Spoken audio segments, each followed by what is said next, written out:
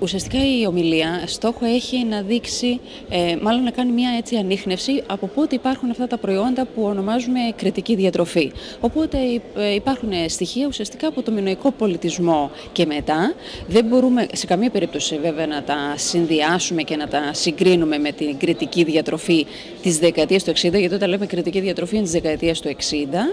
Ε, και ουσιαστικά αυτό που μας ενδιαφέρει και έχει νόημα είναι εκείνη την κριτική διατροφή την οποία βρήκαν ότι, ε, γιατί προέκυψε αυτό από μία μελέτη, δεν ξέρω κατά πόσο είναι γνωστό στον κόσμο, έγινε μία μελέτη παγκοσμίως μεταξύ της, των ΗΠΑ, ε, της Ιαπωνίας, της ε, Ελλάδας, της Κρήτης και το λέω Ελλάδας ήταν η Κέρκυρα και η Κρήτη, η Ιταλία και η Ολλανδία. Και παρακολούθησαν τα άτομα περίπου για 40 χρόνια και σε 40 χρόνια βρήκανε ότι οι κριτικοί ήταν οι μακροβιότεροι, είχαν πολύ μικρό ποσοστό σε καρκίνο και πολύ μικρό ποσοστό σε καρδιαγκιακά. Οπότε όλη η ιστορία ξεκίνησε το 90, δηλαδή η έρευνα ξεκίνησε την δεκαετία του 60, τους ανείχνευσαν το 90 και προσπαθούσαν να καταλάβουν οπότε, από τότε τι έγινε και τι ήταν το διαφορετικό με την κριτική διατροφή.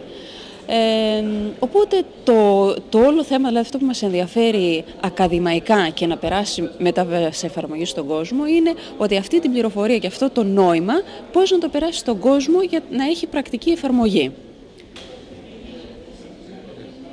Ε, το, ο αποδέκτης, ο κόσμος, ε, όσον αφορά την, την ποιότητα του πρέπει να προσέχει τις μέρες μας. Ε,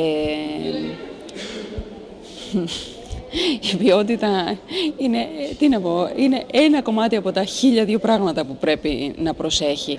Το, το πρόβλημα και το στενάχωρο είναι ότι ενώ λοιπόν έχουν γίνει από τη δεκαετία του 90 και μετά πληθώρα ερευνών που σου δείχνουν τα ευεργετικά αποτελέσματα της κρίτης διατροφής σε όλα τα επίπεδα, στα καρδιγκιακά, σε καρκίνους, στο αλτσχάιμερ, σε αυτοάνωσα, στο γενικό θάνατο, δεν υπάρχει κάτι που η κριτική διατροφή να μην φαίνεται ωφέλιμη.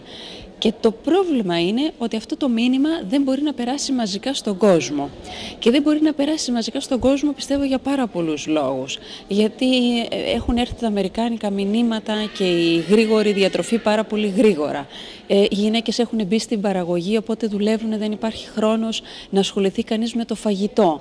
Ε, τα νέα παιδιά λοιπόν δεν έχουν καθόλου την κουλτούρα του φαγητού ε, και έχουν μεγαλώσει στα φασφουντάδικα. Δεν έχουν καμία άποψη για το τι είναι ποιότητα, οπότε ακόμα και, και οι προσπάθειες που γίνονται για να προωθηθούν κάποια πράγματα έτσι, κριτικής διατροφής δεν είναι πάντα τα σωστά, ούτε σε μέγεθος, ούτε σε ποιότητα, αλλά ούτε είναι και σε θέση ο καινούριος κόσμος, οι, οι νεαροί, έτσι, η νεολαία, να αντιληφθούν τι είναι η ποιότητα, διότι δεν έχουν μεγαλώσει με ποιότητα. Ε, ουσιαστικά περιμένουμε άτομα να γνωρίζουν τι γίνεται, μόνο αν έχουν μεγαλώσει σε κανένα χωριό ή αν είναι τυχερά και η μητέρα τους δεν εργάζεται, οπότε ξέρουν ακόμα τι είναι μαγειρεμένο φαγητό, τι είναι ελαιόλαδο, τι είναι ποιότητα, τι είναι φρέσκο, ε, πώς είναι πραγματικά τα φρούτα και τα λαχανικά. Οπότε το πρόβλημα με τη διατροφή και πόσο έχουμε φύγει από αυτό το πρότυπο είναι, είναι πάρα πολλά. Δηλαδή είναι η εργασία της γυναίκας, είναι η ευκολία, είναι τα μηνύματα που έχουν έρθει από την Αμερική και που θεωρούνται από την νεολαία ότι αυτό είναι το μοντέρνο και αυτό είναι το ωραίο.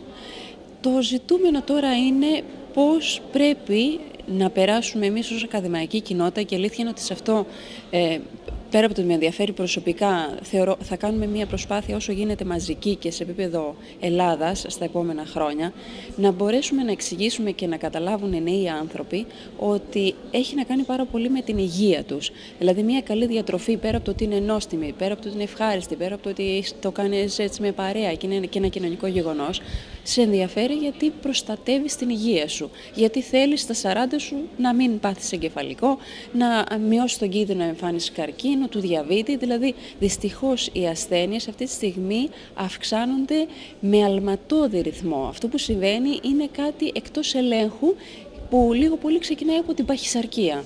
Γιατί καλός ή κακός, όλο αυτό το γρήγορο φαγητό κακής ποιότητας σημαίνει ότι έχει και πολλές θερμίδες, πολλά λιπαρά, πολύ αλάτι, πολύ ζάχαρη και σημαίνει μια πληθώρα ασθενειών που πιο πολύ ξεκινάει από την παχυσαρκία και μετά πηγαίνει υπέρταση, διαβήτη κλπ. κλπ.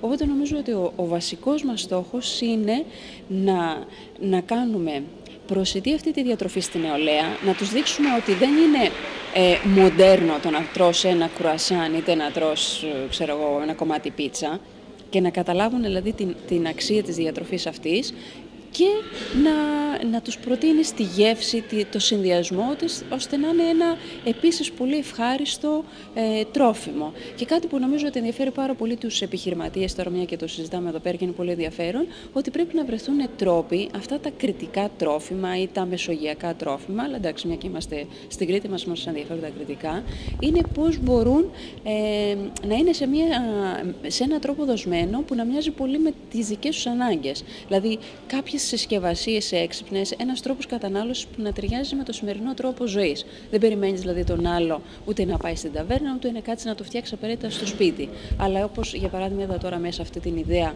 με τις συσκευασμένες ελιές, μπορεί να υπάρξει συσκευασία με ξύγαλο και παξιμαδάκι, με ξύγαλο και γιαούρτι. Δηλαδή πρέπει να, να υπάρξουν σιγά σιγά ε, να υπάρξει ένας τρόπος παροχής της τροφής που να ταιριάζει πάρα πολύ με τον τρόπο που ζούμε, που είναι γρήγορος, που είναι πιεστικός. Εν πάση περιπτώσει, πέρα από το γεγονός ότι φυσικά πρέπει να αλλάξουμε τρόπο ζωής, αλλά δεν θα λύσουμε αυτή τη στιγμή αυτό το ζήτημα, το θέμα είναι ότι σε αυτό που συμβαίνει, πώς μπορείς να επέμβεις με τον βέλτιστο δυνατό τρόπο. Και νομίζω ότι υπάρχουν τρόποι να το, να το κάνεις, να είναι αποδεκτό από την νεολαία και ουσιαστικά Βέβαια πρέπει να προϋπάρξει η εκπαίδευση και η ενημέρωση όλου του κόσμου. Δηλαδή εκπαιδευτικών, γονέων, παιδιών, φορέων, να υπάρχει ενημέρωση από τα μέσα μαζικής ενημέρωσης, έτσι ώστε να, να, γίνει, ε, να γίνει γνωστό τι σημασία έχει αυτό. Δεν το κάνουμε απλά γιατί είναι τα προϊόντα μας και θέλουμε να πουλήσουμε. Το κάνουμε γιατί έχει να κάνει πάρα πολύ με την υγεία μας και με την ποιότητα της ζωής μας δηλαδή.